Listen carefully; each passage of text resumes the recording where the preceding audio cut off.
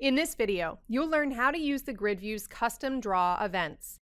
We'll start with the grid displaying plain task data. First, we'll use an event to customize the appearance of individual cells. Then the same event handler will be modified to alter display text in individual cells depending on grid data. We'll then extend the handler even further to draw images within specific cells. Finally, you'll see how to custom paint column headers while keeping their interactive elements such as filter drop-down buttons and sort glyphs. Let's start with an application that has a grid control displaying task data. Choose the grid view and handle the custom draw cell event. This event provides you with the row handle and column parameters that identify the cell being painted. If a cell is in the focused row, custom draw is not applied to ensure the focus style priority. In this first version of the event handler, change the background style of the unit price column cells whose values are greater than 30. The default painting mechanism will be invoked after event handler execution, and it will automatically apply the specified background. Let's run the application to see the result. As you can see, cells that conform to the specified condition have a different appearance, and in that way, custom draw events allow you to implement conditional formatting of any complexity. Let's close the application and further modify the custom draw event handler.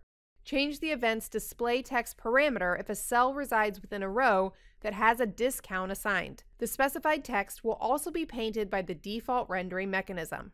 Let's run the application again. Notice that certain column cells display discounted price instead of unit price. In essence, this allows you to do what you could do using unbound column expressions and display text formatting. But with custom draw events, you can apply these changes to individual cells rather than entire columns.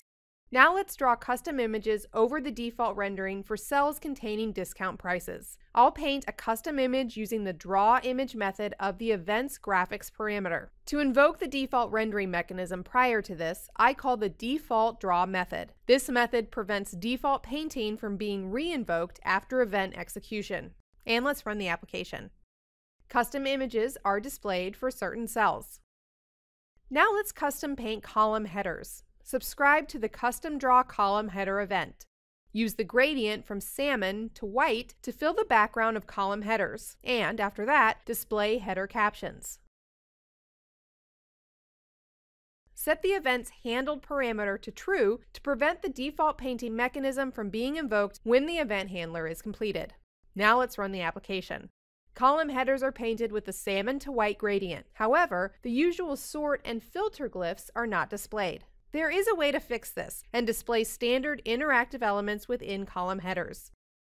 You need to enumerate the inner elements collection and use a specially designed method to paint them, if their settings indicate that they are currently visible. And let's run the application again to see the result. Now the headers have custom appearance while keeping the standard elements so end users can still interact with column headers in the usual manner. And that's it.